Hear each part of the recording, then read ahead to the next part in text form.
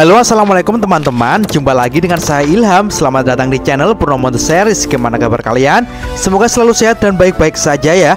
Kali ini kita akan meneruskan merangkum Denghua Sisingji Season 6 versi Manhua part 29 ya guys. Dan alangkah baiknya teman-teman juga nyimak episode-episode sebelumnya Biar tahu cerita selengkap-lengkapnya. Kalian bisa cek playlist di deskripsi ya.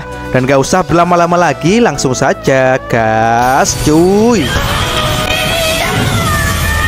di episode sebelumnya diperlihatkan Shoyu yang berkata kepada semuanya kalau proses pembakaran api abadinya belum sempurna dan saat ini adalah saat kritis. Jika dewa kuno itu masuk, maka tak akan ada yang bisa menolaknya. Sehingga ia pun berkata kepada semuanya kalau ia akan mencegah dewa kuno dengan tangannya sendiri, guys. Dijelaskan setelah Shoyu masuk ke dalam singularitas, Shoyu disibukkan dengan banyak bekerja dan belajar dan ia pun juga mempelajari cara mengendalikan api abadi.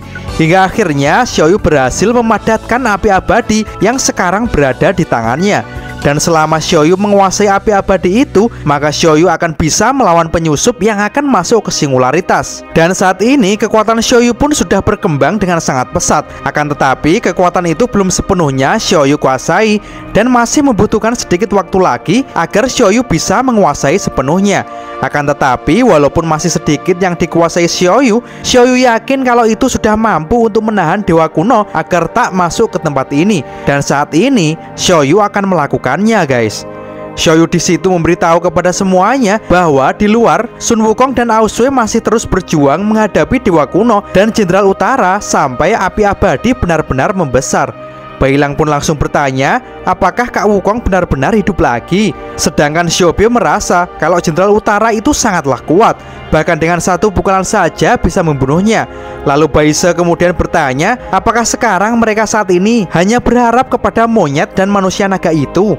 Baisi pun menambahkan, jika mereka kalah dan Dewa Kuno serta Jenderal Utara berhasil masuk ke sini, maka mereka semua yang ada di dalam pasti akan dibunuhnya. Bailang di situ pun langsung meminta kepada Shoyu agar ia dikeluarkan saja untuk membantu Kak Wukong dan Aosue melawan musuh yang kuat itu. Akan tetapi di situ Shoyu tak mengizinkan Bailang untuk keluar karena Bailang di dalam sini masih harus memulihkan tenaganya.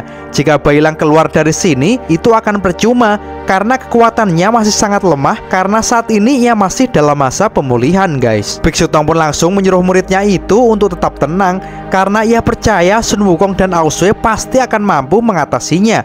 Dan tiba-tiba Patkai dan Wuching pun juga muncul di tempat ini guys Patkai pun terlihat sangat gembira bertemu dengan guru dan teman-temannya Bailang pun juga sangat antusias melihat kedatangan kakak seperguruannya itu Patkai yang saat ini masih terkejut dengan tempat itu Ia pun bertanya kepada semuanya Adakah yang bisa memberitahu babi tua ini apa yang sebenarnya terjadi? Tiba-tiba tempat aneh ini datang dengan sekejap mata Tanya Patkai Biksu Tong lalu menjelaskan kalau kita semua berada di dalam pusat badai api abadi dan mereka semua ada di sini karena dikirim oleh Shoyu. Shoyu, apakah dia yang ada di atas itu? Kenapa dia sekarang terlihat sangat berbeda? Ujar Patkai. Biksu Tong pun membenarkan Patkai dan menjelaskan kalau Shoyu sekarang telah mengetahui dengan pasti siapa dirinya sebenarnya dan tentu saja dia akan terlahir kembali. Bukankah ini yang kita harapkan? Ucap Biksu Tong. Dan terlihat Xiaoyu pun kini menyambut Patkai dan Wuching.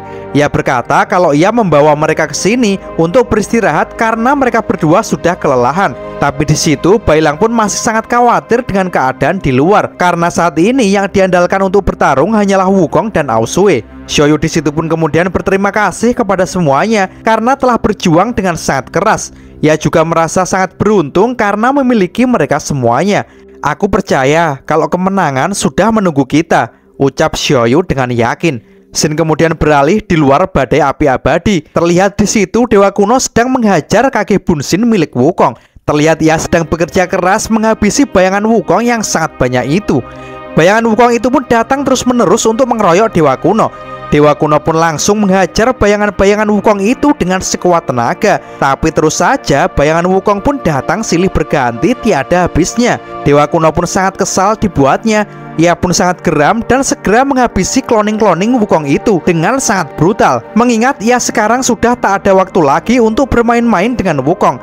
Tapi bayangan-bayangan Wukong pun terus menghantui Dewa Gelap. Mereka tak hanya menyerang fisik saja, akan tetapi juga menyerang mental dengan terus-terusan mengejek Dewa Kuno. Hingga akhirnya para Wukong itu pun berkumpul menjadi satu dan menyerang Dewa Kuno bersama-sama hingga tubuh Dewa Kuno pun sekarang sudah tak kelihatan lagi tertutup oleh bayangan-bayangan Wukong guys. Tapi tiba-tiba Dawar Dewa kuno yang sudah benar-benar muak dengan Wukong langsung menghempaskan Wukong dengan kekuatan panah penderitaan andalannya. Bayangan-bayangan Wukong yang terpental itu pun menghilang satu persatu karena ledakan dari kekuatan Yuan Shi Tianzun.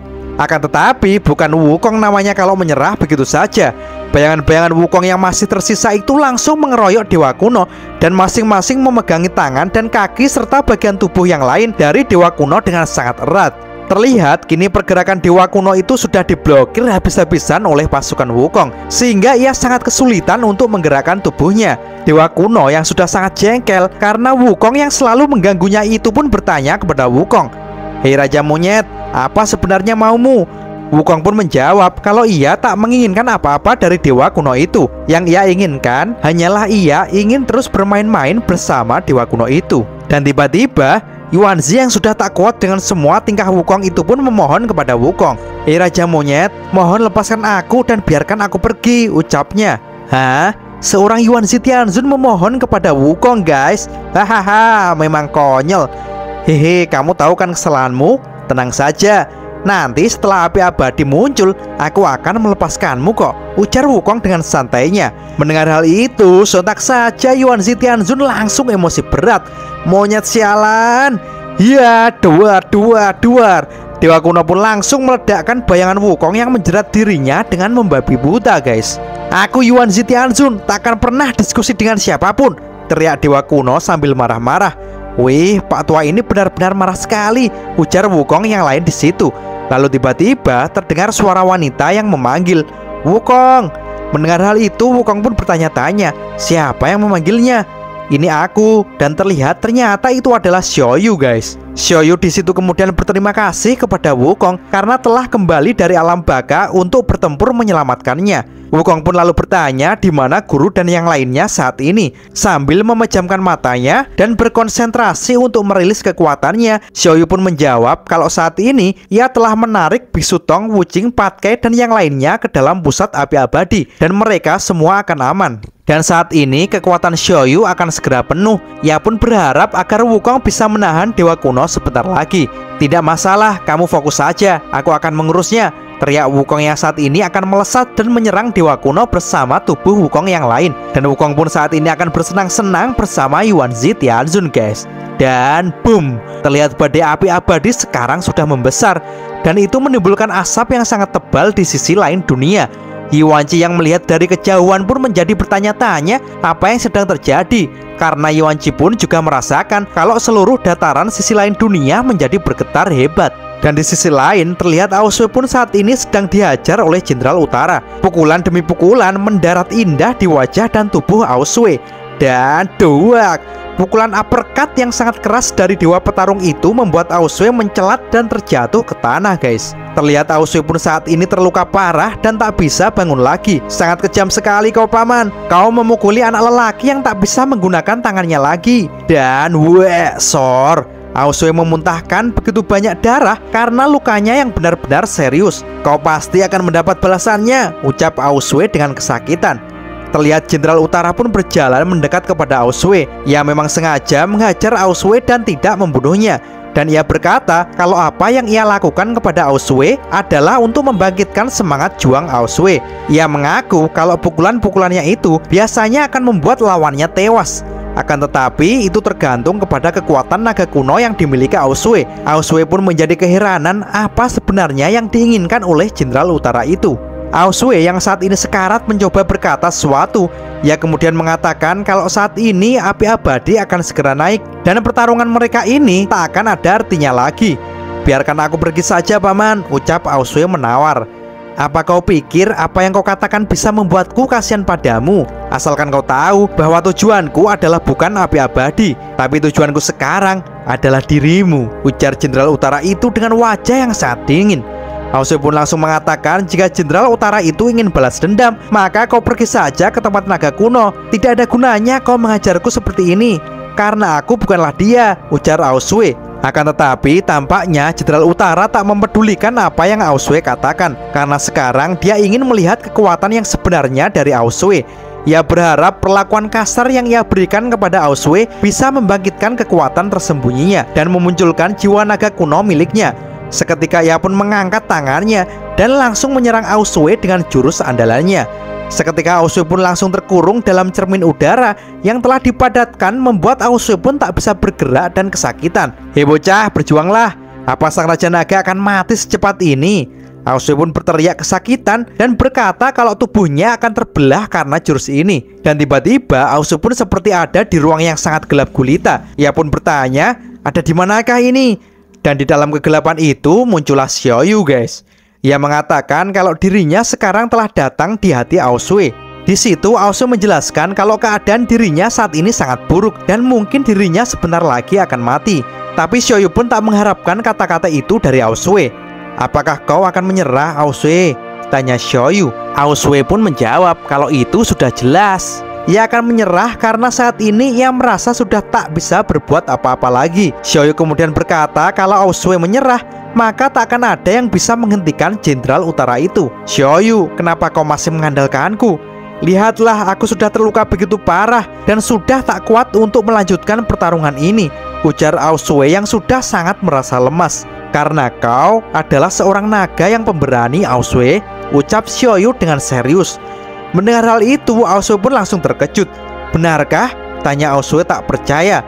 Xiaoyu pun lalu mengatakan lagi kepada Aosue, dunia memang tak mengerti dirimu. Pukulan-pukulan itu tak akan bisa membangkitkan semangatmu. Tapi aku tahu dorongan dan motivasilah yang kau butuhkan saat ini. Jangan salah paham Aosue, aku tak bermaksud mengatakan itu. Tapi aku benar-benar merasa bahwa kamu sangat berani dan bisa diandalkan. Semangatlah Aosue, Ucap Xiaoyu dan seketika ia pun menghilang guys.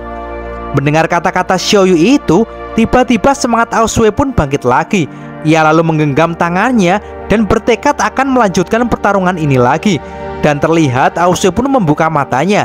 Dan terlihatlah saat ini Jenderal Utara sudah berada tepat di depannya dan bersiap untuk menyerangnya. Dan ia pun terkejut dengan ekspresi Aosue saat ini. Dan benar saja, Aosue pun saat ini memberontak dan berusaha untuk menghancurkan segel yang mengurung dirinya. Hei paman, aku masih punya masa depan yang cerah. Aku tak akan mati di tanganmu, teriak Aosue. Dan tar.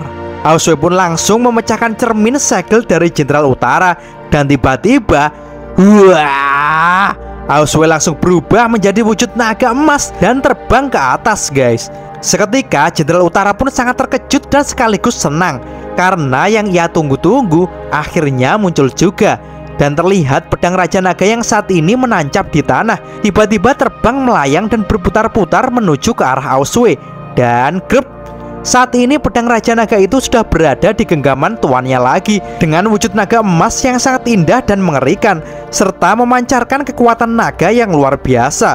Sungguh pemandangan yang sangat luar biasa. Melihat hal itu, Jenderal Utara pun langsung bersiap dan memasang kuda-kuda. Ia berkata kalau sepertinya bimbingan dan penindasannya sudah berdampak kepada Oswe dan ia mengaku kalau inilah yang diharapkan dari tadi, yaitu kekuatan yang seperti ini katanya. Jenderal Utara pun saat ini sudah bersiap untuk bertarung dan ia mengatakan kalau kekuatan yang Auswe keluarkan saat ini adalah kekuatan tertinggi yang bisa muncul saat pertempuran hidup dan mati. Naga emas, ayo kita bertarung, ujar Jenderal Utara dengan semangat. Naga emas Auswe dengan menggigit pedang Raja Naganya langsung melesat dan meluncur untuk menyerang Jenderal Utara. Sedangkan Jenderal Utara pun juga sudah bersiap beradu kekuatan dengan naga legendaris itu. Ia pun mengangkat tangannya dan Boom! Tabrakan tersebut langsung menimbulkan ledakan berwarna kemerahan yang sangat dahsyat sekali. Dan cerita pun bersambung. Oke teman-teman, terima kasih sudah nyimak alur cerita kali ini sampai habis. Semoga teman-teman terhibur. Jangan lupa terus dukung channel ini agar terus berkembang ya. Dan sampai jumpa di episode selanjutnya. Assalamualaikum warahmatullahi wabarakatuh.